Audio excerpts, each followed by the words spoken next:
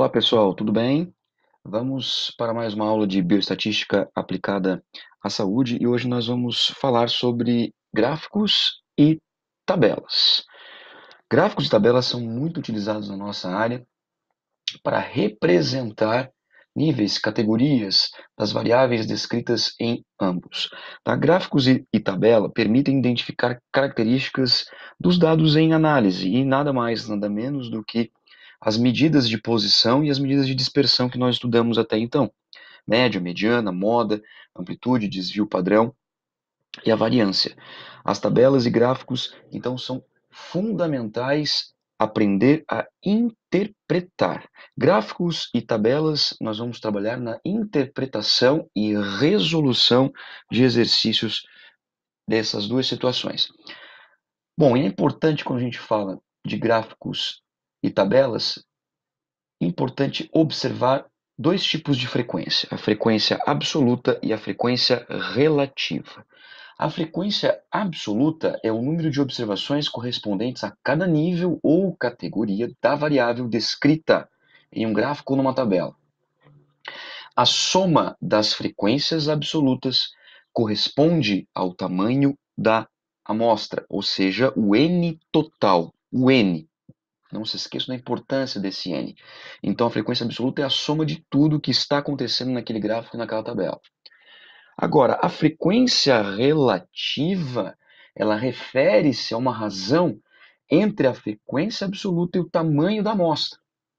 E a frequência relativa, ela é uma expressão proporcional representada em porcentagem. Então, nós vamos desenvolver aqui algumas questões voltadas à porcentagem, a frequência relativa e a frequência absoluta, que é a soma dos elementos.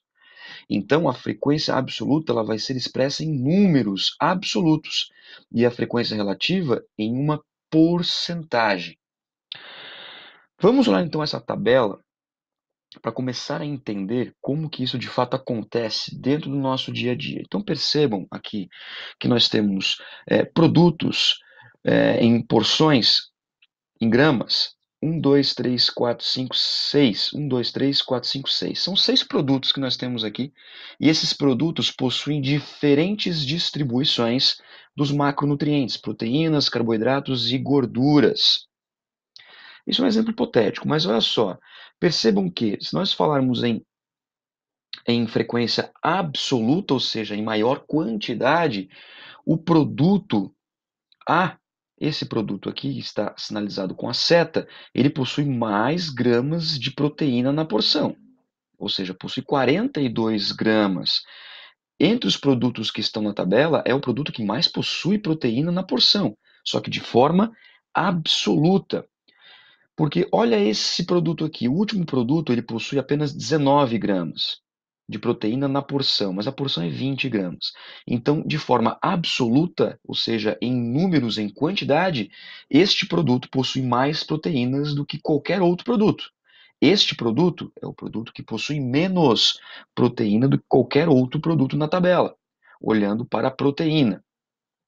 Mas eu pergunto para vocês, em relação à porcentagem, ou seja, a uma razão da frequência absoluta, como que isso então se apresenta e como que isso se transforma em um cálculo. Então, para eu saber o quanto que 42 representa de 60, eu vou pegar parte de, desse cálculo, ou seja, 42, e vou dividir pelo n total.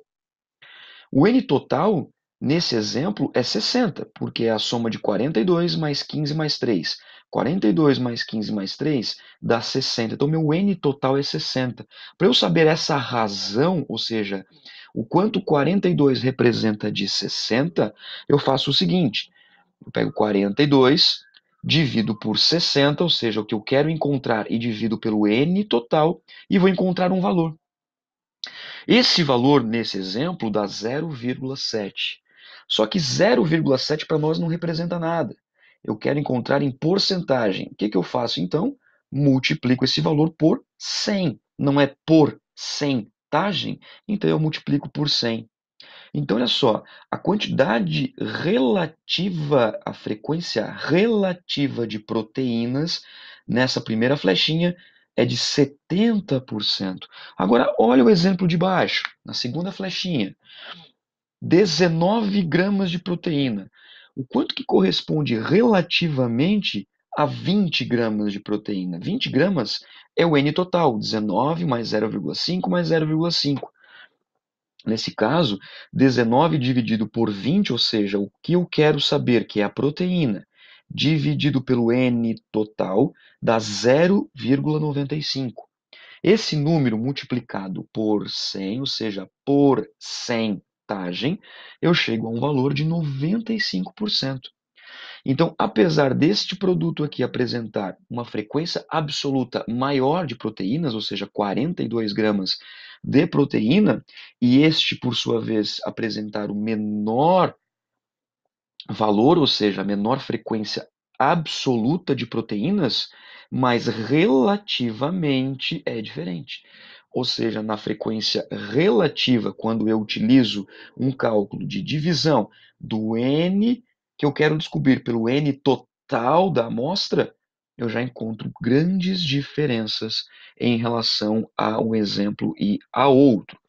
E isso eu posso desenvolver com todos os outros produtos que estão aqui no exemplo nessa tabela, assim como os dos carboidratos e das gorduras.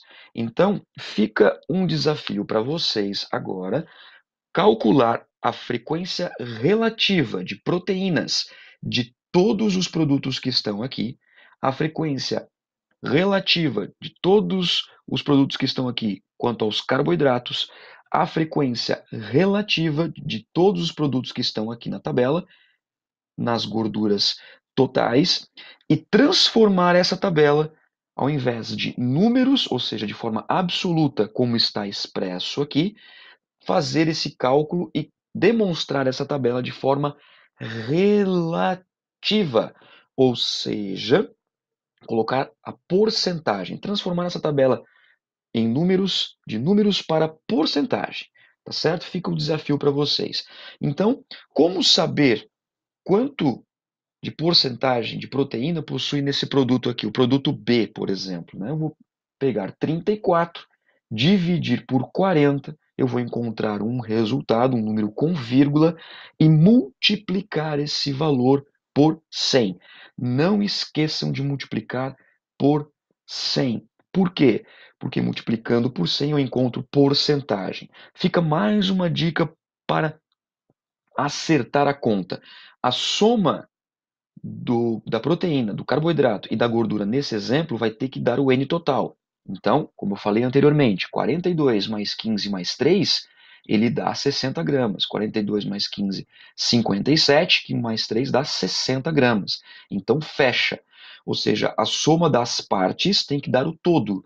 E isso também tem que estar representado na porcentagem. Então, por exemplo, se no produto A já possui 70% de 100%, os outros 30% estarão distribuídos nos carboidratos e nas gorduras. E a soma desses 70% com as demais porcentagens tem que fechar 100%. Tá ok? Na próxima aula, nós vamos resolver um outro exercício bem interessante, um, com um grau de dificuldade um pouquinho maior, sobre porcentagem de aumento. Tá ok? Olhando essa tabela, como que eu sei que um produto que custava X reais passou a custar Y reais e quanto que isso representa em porcentagem. Tá ok? Bom, dúvidas? Tragam para as aulas, resolvam os exercícios. Eu agradeço demais a atenção de todos. Eu espero contar com vocês nas próximas aulas também. Tá bom? Um forte abraço e até